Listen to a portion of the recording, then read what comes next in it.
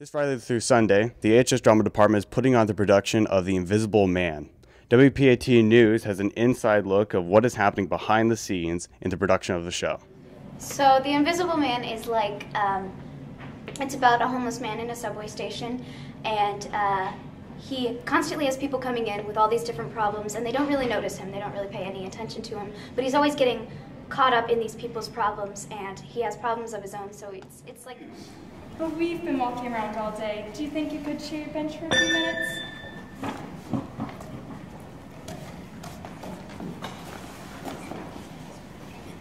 I need to see you tonight. But we spent the entire day in the park. That's not enough? I need to see you every second of every minute of every day. There's a lot of different, there, there are so many different types of characters. You know, you have your jerks, your sweet people, um, people who are really lost. So I think that there's a character that everyone can relate to. It's brick. Ah, stop! Assault! Assault! Battery! Murder!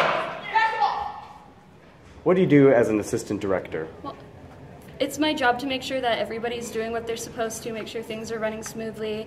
If there's like a bump in the road or somebody needs help making sure something gets done, I step in. Um, it's mostly making sure Miss Cunningham remembers what she's supposed to be doing half the time.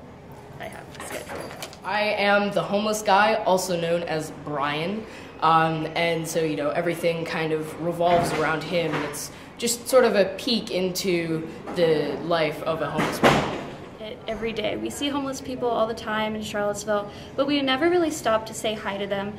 And if we do, it's really brief. And they seem to become invisible to society.